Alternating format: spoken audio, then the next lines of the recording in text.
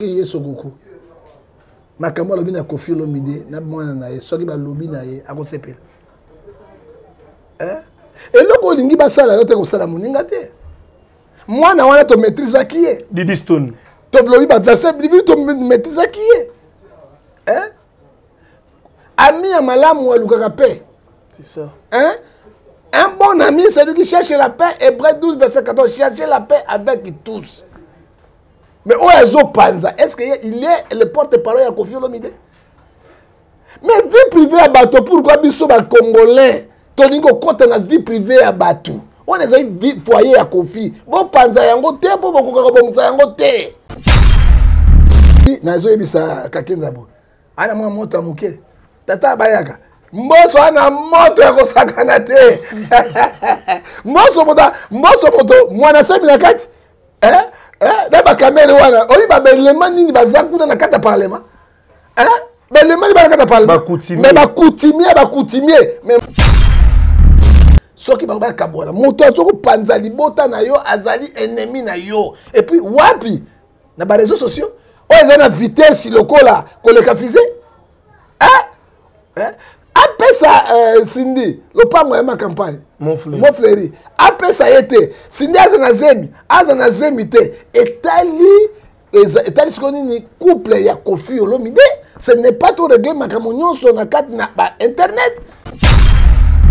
pokopanda famille ya bato akomi porte parole ya kofi ngabi nayebi te soki kofi nandimi teke kofi atindaki ye Ah. Eh, nandimi te ke kofi atindaki ye aloba biloko ndenge wana mais siko entre laurent soroko na kofi qui gère qui eh, mais qui gère qui nous ne savons pas oyo mosusu star oyo mosusu mpe bos babos yango toyebi te combien des entreprises botongi na congo oubien tomoni yango te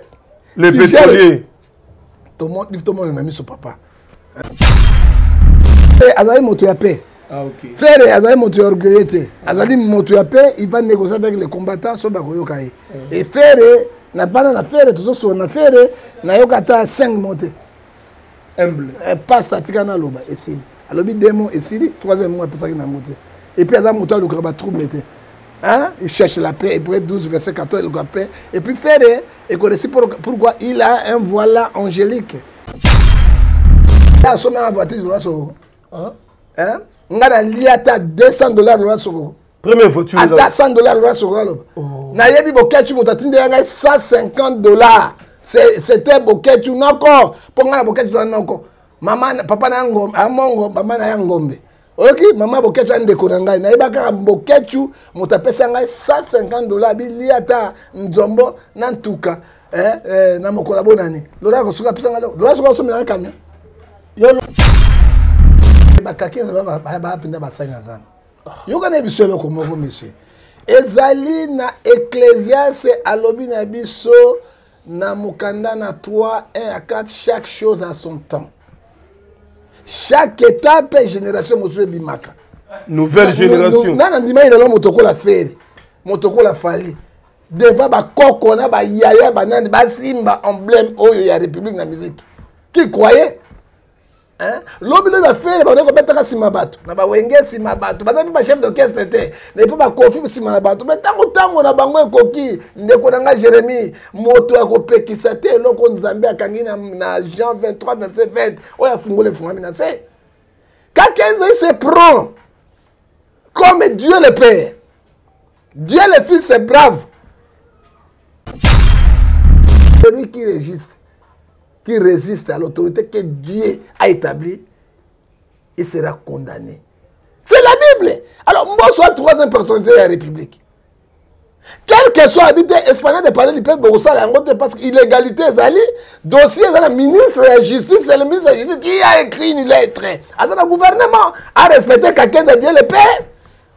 ou bien respecter ministre hors de la fonction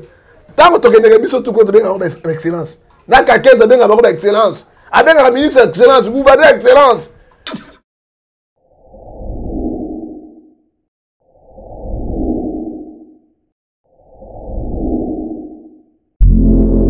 Merci de nous rejoindre sur Équilibre TV, mesdames et messieurs, très chers amis, téléspectateurs, bonjour et bonsoir, ça dépend de l'heure à laquelle vous nous regardez. Nous sommes là pour vous informer, c'est bien moi, Jérémy Louemba, les renards du désert. Alors, un clin d'œil spécial à tous nos partenaires ainsi qu'à tous nos abonnés. Sema Mayasi, femme légitime, agence Mayasi Forza Italia. Mimi Ndoumé, Mimi Abandoume, Yaya National depuis Moshing là-bas. En Allemagne, je vous salue très respectueusement. Et pourquoi pas dire merci à Gérard Saddam de Manchester,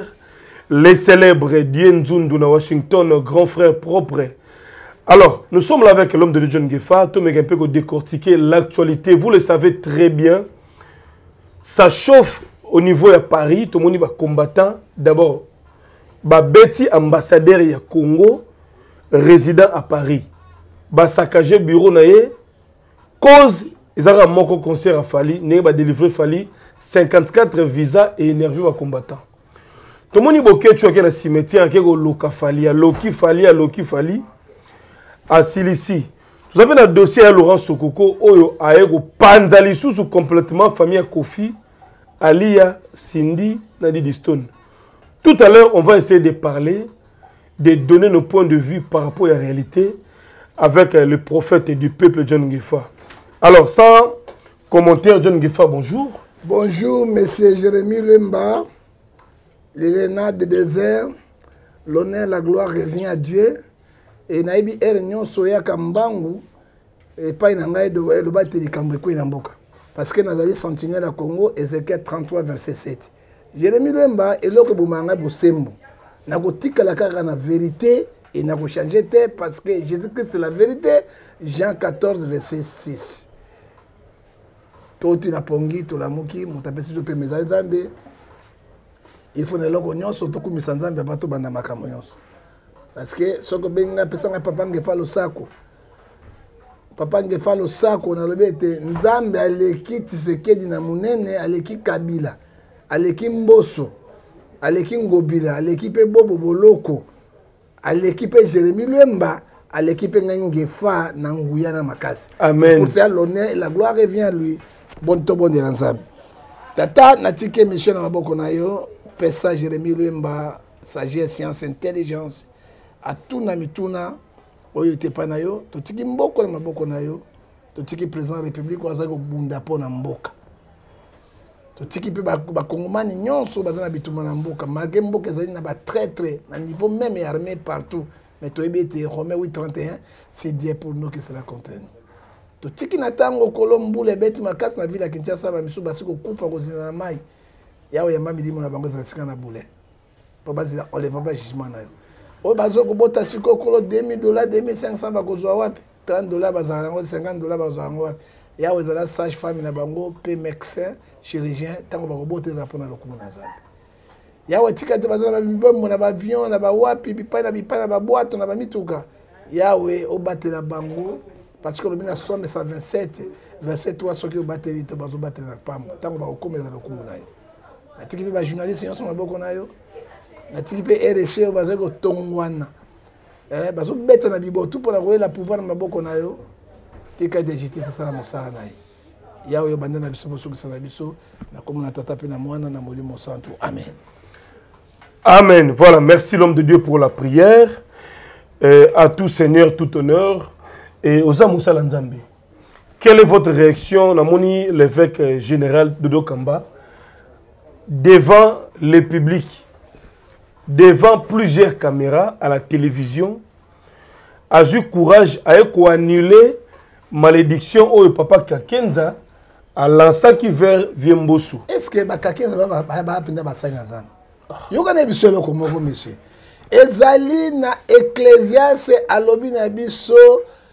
na mokanda na 3 1 à 4 chaque chose à son temps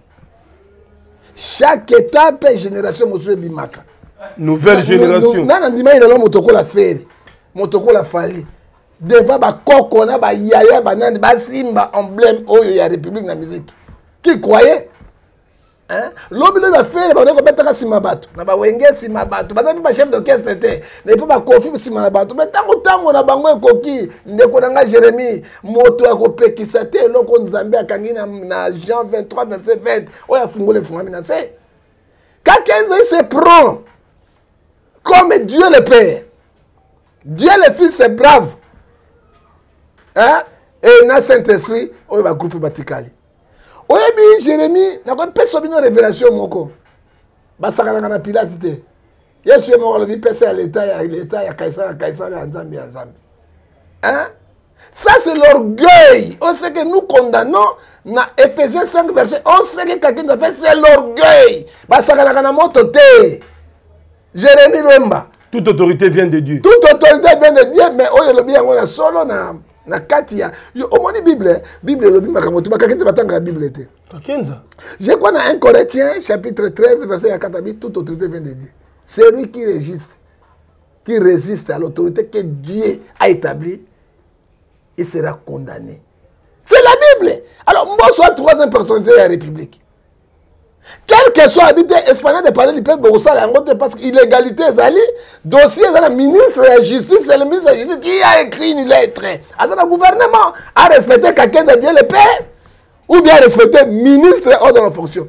ntango tokendeke biso tuko tobenga bango ba excellence na kakenda abenga bango ba excellence abengaka ministre excellence gouverneur excellence ozolanda yango soki batosaka biso parce que tozobatela milimo na bango na hebreu 17 verset 13 hein? Hein? hebreu 13 verset 17 mais sikoyozelazela sokisa yango mpo soki motuna euh. alors comment il peut avoir l'audace ya komaudire un président ya assemblée nationale troisième euh, personnalité akwei na kati na kati na kati na romain euh, 1 Corinthiens 13, verset 1 à 4. À quoi il déjà Yami Balé. Proverbe 26, verset 2. Comme le rondeur son vol, la malédiction sa cause a fini sans effet. Na kota na bisa kakenza. Yesu azaki nzambi. Mwana na nzambi. moto aleka yesu na miracle na monde aza te moto atamboli kola mai aza te moto azali 4 jours aponi alamuki aza te mopepe yezinisa bango atemisi mopepe eyoki calme aza te akufi troisième jour asekwi aza na lola aza te mais omoni pilate abeta ye mama na ngondo namona angelu moko akopekisa pilate te nayebisaka kete barévélation epuis baye bacrucifie babeti ye ngondo bapesi continue baki kocrucifie na mwa ete angelu moko epuis balongoli limbanda balongoli bilamba tout atika na limbanda epuis nabebisaka kenza lingbanda wana nde babendaki ba jésus on pourrait le crucifie nu Donc, tout, tout était possible ah, tout était possible mais bameki lingbanda ekweyaki te lingbanda elongwaki te parce qu'il était dieu mais namonaki angelu moko apekisaki te ekomi nini na jugement ya suka kakenza kozwa omikomisa lokola nzambe te tu n'es pas dieu eloko nini esilaka te kakenza hein? makambo ena evêque général dodo kamba kaka yango na koma archevêque sina bai papa noir akobima likambo nini kakete esilaka te okomi na bautorité hein? jérémi lwemba nakoyebisa eloko moko boye kakenza azalaki 20 ans na tete ya rc atika ata biro moko ya rc te tangela ngai nano biro nini oyo national oyo kakenza atika yango ya rc eza te atika na hôpital moko te atika ata jardin ya pamba ya eglise na eza toko babokundi oyo basalaka docteur eh, entre bokundi oyo basalaka na bacardinal ambongo basalaka rien ata na hectare moko balonga ndunda eza te ata hôpitaux moko tata maternité moko 20 ans de règne kakenzi akoma kozwa eh, rc lokola eloko personnel na ye lokola eloko na ye ata république kabila akei mobutu akende kabila le fils akende mobutu mpe kabila le fils akende fisikata ye te lokola eloko propre ya ye mais nani oyo ezali confession ça n'appartient pas kakenza kakenza oyo yaka na église moko pamba ata na deux église te mais otie évêque président akoma nini archevêque lelo oyo atiki bapolémique oyo asali illégalité soki azalaki ya bon conseiller makambo elekaki na paix il fallait bisango bandeko na ngai to respecte mikando tokomaki alobi bapesi ye 5 million mpo atika dodo kamba aboyi bapesi ye 5 lokuta na ye nani apesaki kakeza moto alinga mbongo na honneur na lokumu lokuta azokosa omoni mosali na nzambe bolongwa na mensonge Jean 8, 44, le père de mensonge, c'est le diable. Au monde de Bozo, tu m'as parlé, Nzamba, nous avons Luc 12, verset 3. Quelqu'un de la personne à 200 000 pièces, à Dodo Kamba. Mais qu'est-ce qu'il a fait Attaqué Dodo Kamba. Alors, Boka Mata Église, Nzamba, Bobo Tiango, en otage, quelqu'un nous a parlé, Dauphin Naye. Oyoki Bosco Kindomba. alobi na kakenza alobi église de réveil ezali boutique na yo te eloko na yo te tu ne peux pas se caparer avec ça oyoki soni kafuta akoma kodomine bapaster bongo nde mais akodomine bapaster na paster mpe batelemeli ye mbala oyo esika akotia lokola mai ya mungwa hmm. parce que c'est lui le meneur de trouble bozela dodo kamba asala manda na ye 2025 ekosila atikala na nini na nini na ndambo esili asali ensemble mais ndenge bosali boye dodo kamba kolongwa lisusu mpo akoya très fort akolonga lisusu te akoya lisusu très fort très fort très fort parce que les pays en guerre on ne change pas les chefs les pays en guerre on ne change pas les chefs l'institution est en guerre bakochange chef te qui est le véritable chef alors natuni question awa ah, dodo kamba alongoli malédiction kaki natikela ye mbosu osepeli mais effectivement akolongola yango parce que c'est lui le chef de l'église de réveil c'est lui le chef spirituel pour le moment c'est dodo kamba parce que pourquoi nalobi boye Proverbe 26 verset 2 comme l'hirondelle son vol la malédiction sa cause ani sans effet alongoli yango ezali kwa nini Matthieu Jean 23 verset 20 oto kangi kangi na seto longoli alongoli yango 2 na ebisi na zo ebisa kakenza bo ana mwa moto amuke tata bayaka mboso ana moto ya kosakana te mboso moto mboso moto mwana semi na kati eh eh na bakamere wana oyi babelema nini baza kuna na kati ya parlement hein? balemani balaka na palma mais bacoutumier bacoutumier mais mboso euh, euh, euh, excellence euh, ministre euh, président assemblée nationale euh, mboso azo maîtrise bango kaka eza na eloko te c'est l'orgueil ça, ça dit quoi galate 6 verset 3 si quelqu'un se passe entre quelqu'un il s'abuse de lui-même ezali lolendo ya pamba et puis akozala poursuivi na justice quand il va rentrer ici mais babi akimi na turki akimi akei na turki akoza poursuivi na, na justice congolais sikoyo yo mona wapi église moko confession moko bozowelela nini très bien alors mais on, on a assez parlé de ça na tunelaka parce que na monde odo kamba azwi courage aye koanile non c'est lui, c'est lui le, le chef c'est lui le pdg c'est lui mm. pour le moment c'est lui il a sauvé eh, le vembosu eh, anile mais nani asimbi bamikanda ya rc c'est lui Eh, aza mpe na mandat en cours c'est lui parce que ti justice euh, justice akoza suya kote na ye eh, eh, toboyi boye toboyi baoyo tobanga bainfluence na bino ya pampamba trafic d'influence nauti koloba lisusu esika oyo botika kotia président de la république na makambo na bino ya bozoba makambo na bino ya mitema minene un bravo qui n'a pas l'église Hein? Aza, bravo aza meme na église te mais il se fait comme deuxième personnalité et bravo asalaki asalaki meme statut na réglementaire d'intérêt te moto ya religion se kiziamina kibila c'est kiziamina kibila ce n'est pas bravo c'est kiziamina kibila pasteur bravo ngo azalaki zwa a l'église te Ako diambila na otiaka ba trouble partout partout avec azali allié ya Dieu le Père. Dieu le Père. Donc aza évêque. Il n'est pas évêque, celui qui n'a pas l'église à évêque, il pas bien révérend. Il y a bravo terre. Hein. Révérend hein? bravo. Non, dit révérend bravo, bravo terre ka wap église à bravo wap to lakis. Biso to la église to sur internet, to zoti à chaque dimanche. Bon l'accès église à bravo. ata bato mpe satoso baza nango donc après kakita se bravo eh, c'est lui oyo oh, azomanipule bango mpe akomi directeur ya cabinet ya ya paul david olangi mais moi je peur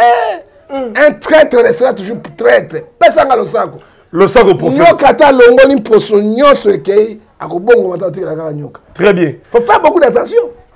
alors tokoluka na église ya bravo yango ezali te ana église te balobelaka révérend révérend révérend révérend quoi ya désordre c'est un hein, fruit de diable Au moins, jacques 3 14 à 16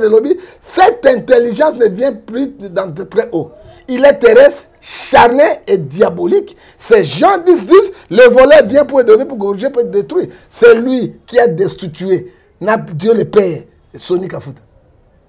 ezali ka bango wana e groupe ezotambola na bango boye ngefa akotambola na bagroupe mosadi te ngefa ne peut pas mélanger avec le groupe oyo nzambe asanda bango na progrès 3 verset 14 à 15 te je ne peux pas le faire très bien et ce sont les gens qui ne respectent pas aussi les gens très bien merci beaucoup prophète euh, ça c'est très bien euh, épinglé euh, église de... ekomi na soni euh... ekomi na soni hein? eh, eh, papa dans 5 jours nakopesa position na ngai nakopesa position na ngai nakosala su conférence de presse nakopesa nani nazo soutenir david paul olange avec bravo avec dieu le père avec dieu le fils dieu le fils mpe azalaka dieu le père azalaka ngonga nde ekoki dieu le fils aye ngonga dieu le fils aye eh, jean 14 verset 16 alobi nakei natikeli molimo mosantu qui est le saint esprit maintenant dans l'église de l'éveil c'est la honte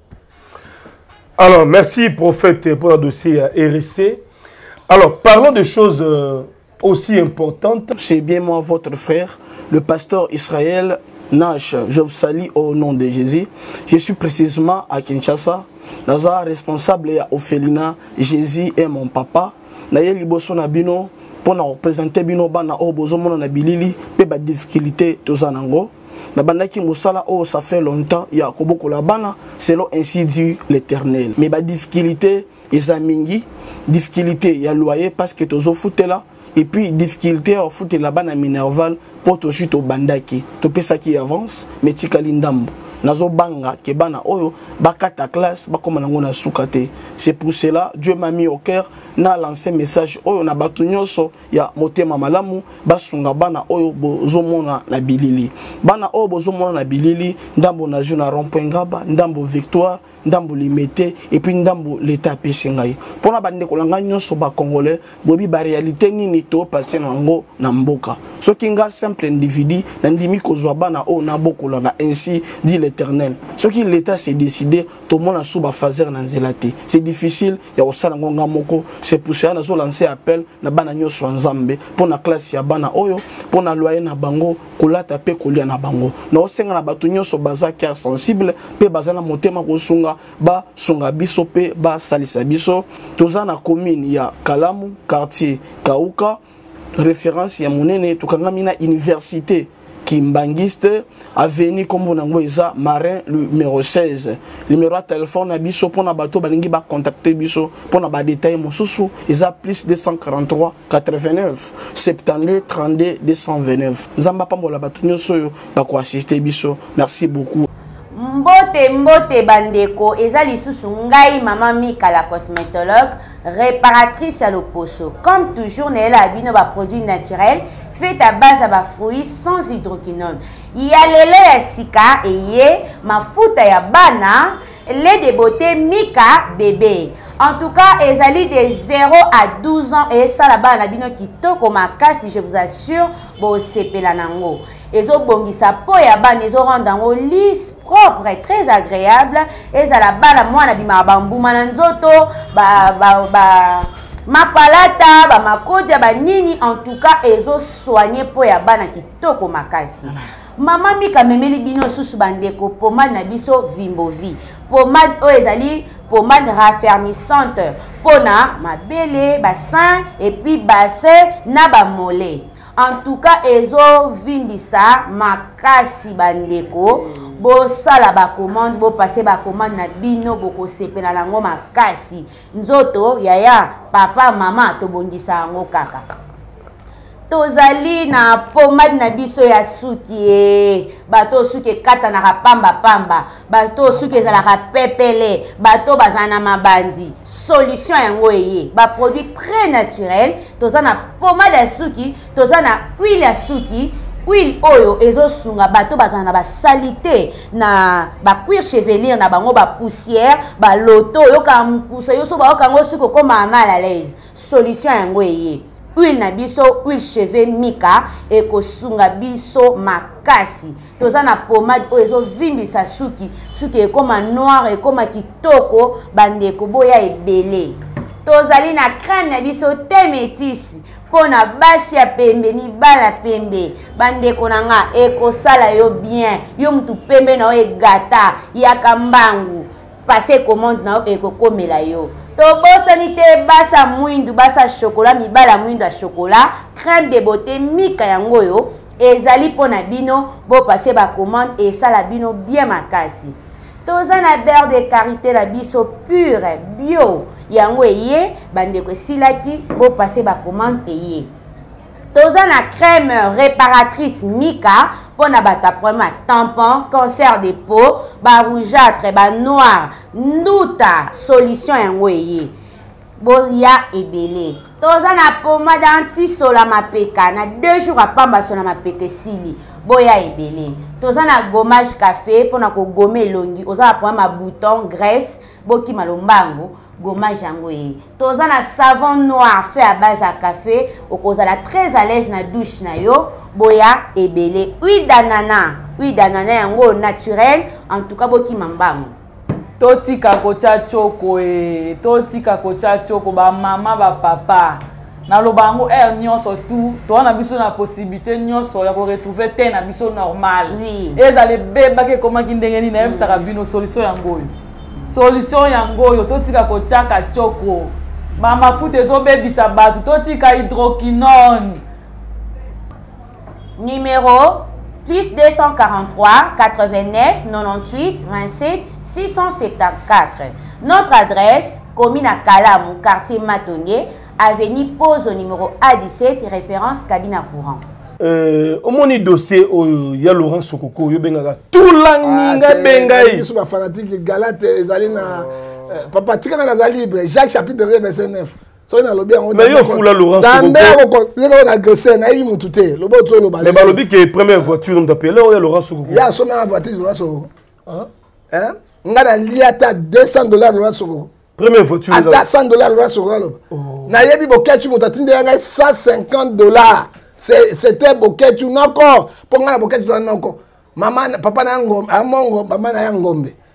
oyoki mama boketshu ya ndeko na ngai nayeba kaka boketshu moto apesa ngai 150 dollars bilia ata nzombo na ntuka eh, eh, na mokolo abonani lola kosuka apesa ngai lola soki asomela ngai camion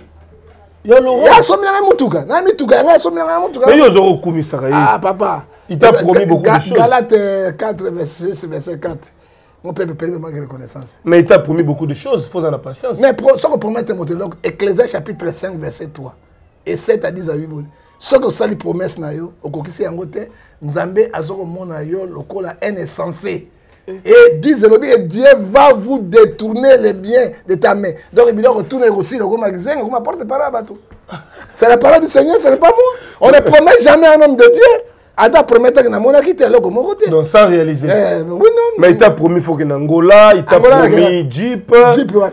ya laurent ta promis la parcelle de l'église ya bango ye mongana komele parcelle na kisasa pas promettre ngai papa kotia ngai conflit na bato te po moi je sais parler hein, et je n'ai pas peur de personne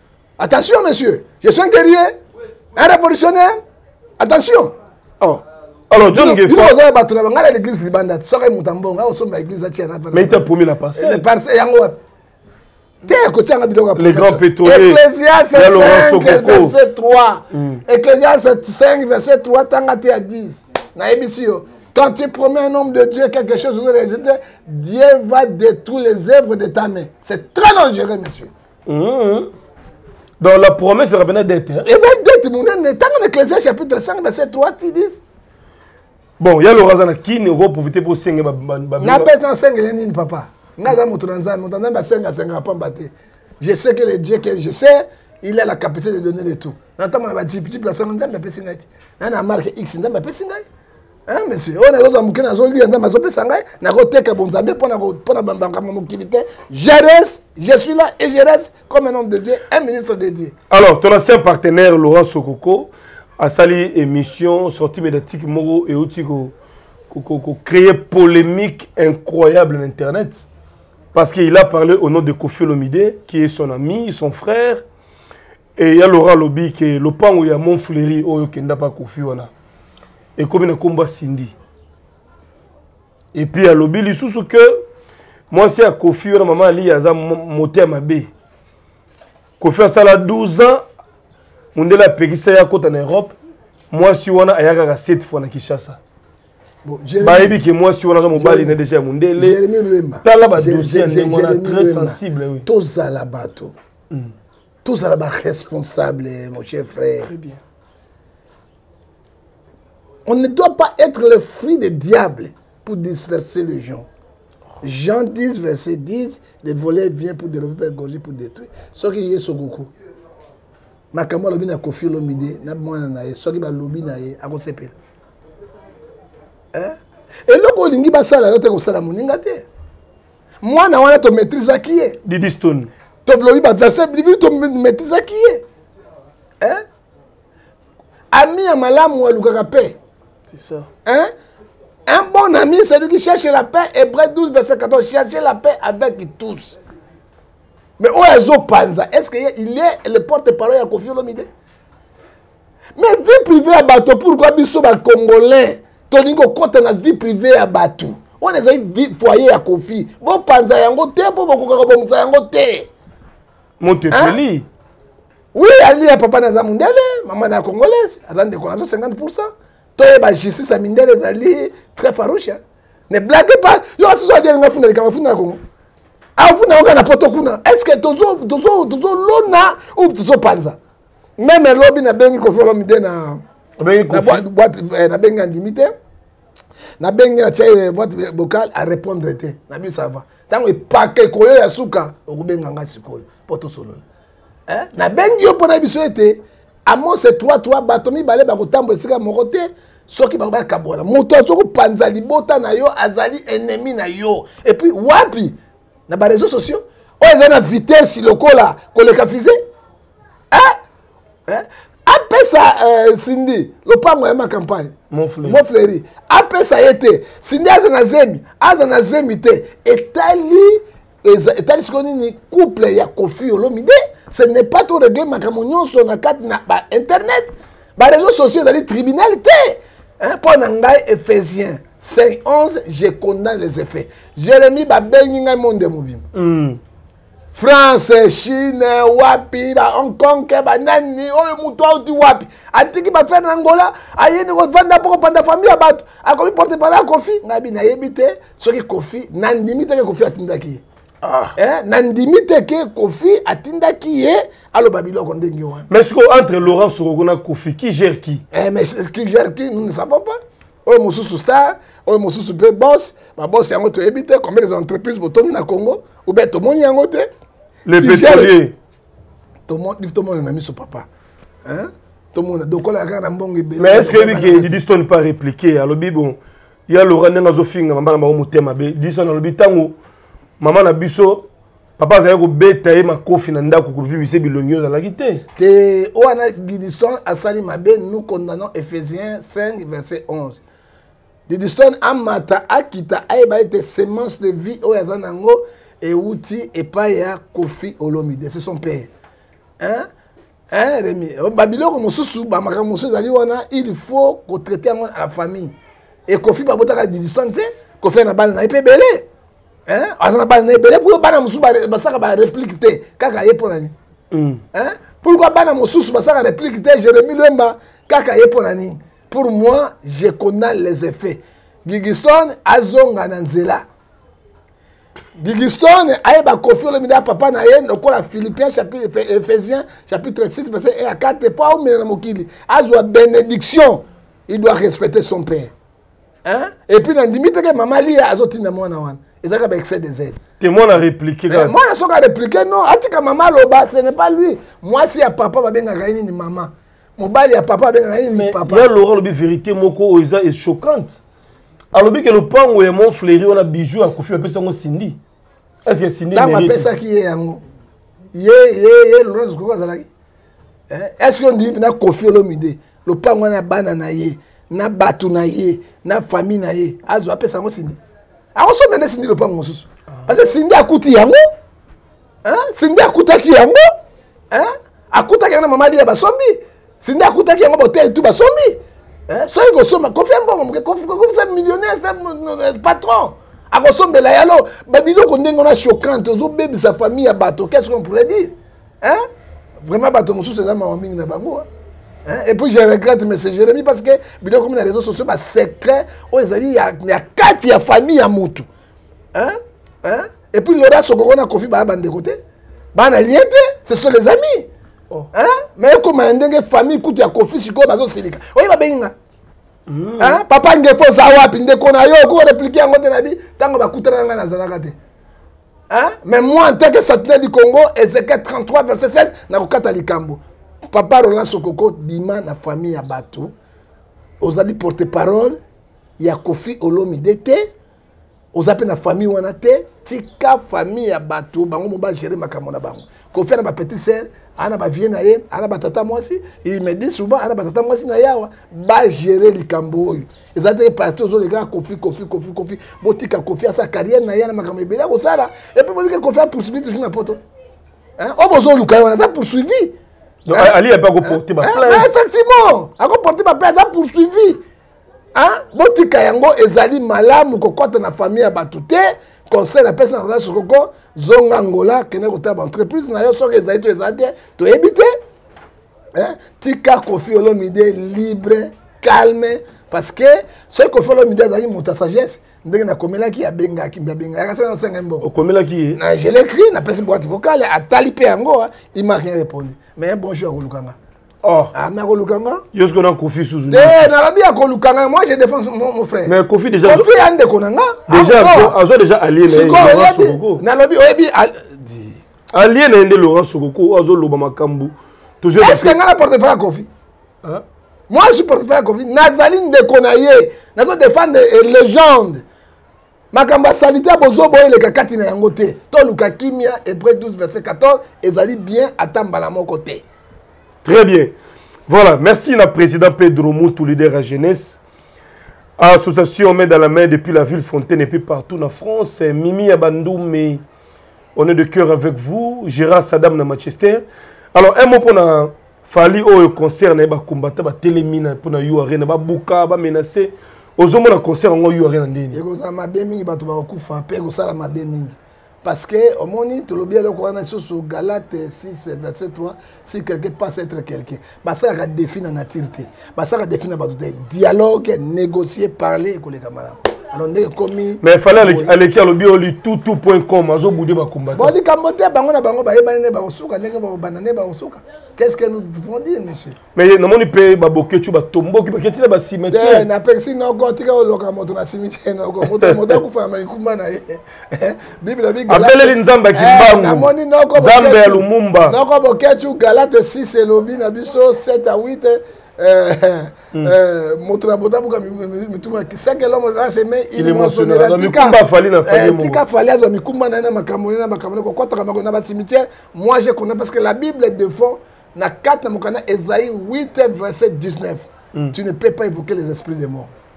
c'est dangereux c'est très dangereux parce que les esprits sont là ndenge abengi baesprit eza bavoyou bavoyou oyo bazodiambile hmm. bakoyoka mpe bakosala baeffet ce que nous condamnons alors la pluie nous menace mbula ezobeta na mboko donc courant mpe eza te euh. mais quand même tosangani pour que toinfrime bacongolais donc euh, concert afali ya yo arena déjà ebandi kosanose mabe ba musiciens si bakei déjà mais trouble bandi et ferre annoncé bercy accord arena quelle chance opesa ferre gola parce que bato ferre azali moto ya paix Ah, okay. ferre azali moto ya orgueille te azali moto ya paix il va négocier avec les combattants so bakoyoka ye et ferre na bana na ferre tozosolo na ferre nayoka ata 5 mote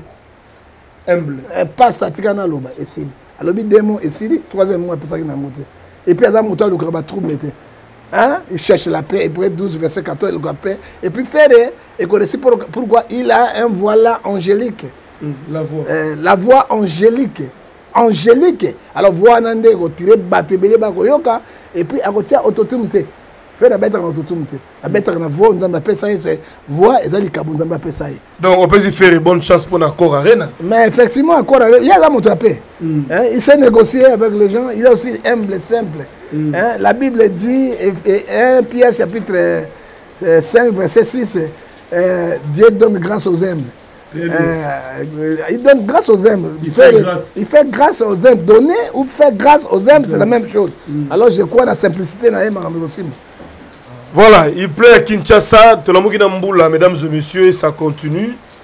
Mais cela ne nous a pas empêché de vous informer, en tout cas partout Bozali, que Dieu vous bénisse. Et puis maman Moko, Jérémy, Oyebi, euh, azali na états-unis d'amérique asali euh, clarette nzembo kitoko mingi jérémie e mama wana nzambe apambola na ya groupe na ye ya makasi ebi omoni bagroupe wana ekoleka bamoise mbili ekoleka bamaike kalambai parce que omoni sikoyo nini génération mosusu nzambe asala nini azobimisa bango pourkui tokondima te soki banzembo groupe na ya groupe de david ya mama clarete avandi na Caroline du Sud et du Nord, na kati ya États-Unis d'Amérique, Nzambe ya pambola ya pambola ya pambola parce que eloko ba maman tele wana tozo soutenir bango parce que lokumu na Nzambe kende liboso non lokumu na bato Nzambe ya pambola. Mais est-ce que oluka pe to kutana ya Laurent Sokoku? Obenga ye? Ah papa, na kutana na Laurent Sokoku nini? Yenda ko benga na benga Laurent Sokoku nini? Moi je suis un homme de Dieu, je suis un ministre de Dieu. me banda baya kin amona yo te akomona ngai te amona ngai te ya lora nakobenga ye fona sani ezali moto ya liboso eza ye te bato mingi ya poto boyembaka bango bayaka balinga komona na biso te toyebi te pourkui na poto azobenga azobenga soki akomi amelani tozalaka besoin ya biloko na bango te toliaka tovandaka totambaka mituka toza bien akoya mpo akuta epaso na ngai lopango eglise na je suis dehors nazoloba likambo wana azali libanda soki naza libanda moto nyonso motema malamu azoyoka nga e ya grâce au chef de l'état oyo ozopesa bato bambongo mpo apamba soki opesi na kati eglise totonga ça sera eh, tokobondela mpo na yo mpe likambo monene na nkombo na yesu e nzambe apambola merci merci beaucoup l'homme de dieu merci à rémi bobois merci à glodi charo merci à nadine maifuila depuis kinshasa bana monde entier états-unis canada france belgique abenga ye nga fona moni lelo so lobi awa aza na wileria